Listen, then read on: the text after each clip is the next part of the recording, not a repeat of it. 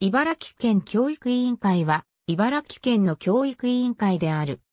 茨城県内の教育に関する事務を所掌する行政委員会であり、2015年の改正地方教育行政組織運営法施行により、教育委員会の会務を総理し、教育委員会を代表する教育長を含めて7人の委員で構成される。近年は学力向上、高校改革などの教育改革に取り組んでいる。講義では、教育委員会の事務を担当する執行機関である、教育委員会事務局を含めて、教育委員会と呼ぶこともある。茨城県教育委員会は、2部9課5教育事務所、120、県立学校、22の学校以外の教育機関等で構成されている。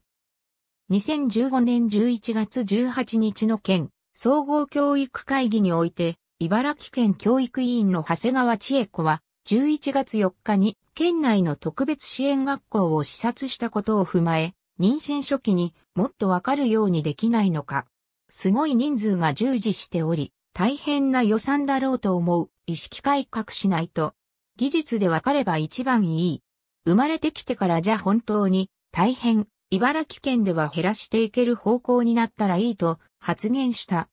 県知事、橋本正は、この会議に同席し、終了後一部報道機関の取材に問題ないとの認識を示していたが、批判を受け11月21日の緊急記者会見で陳謝した。長谷川は11月20日県教育委員辞任を知事に申し出た。ありがとうございます。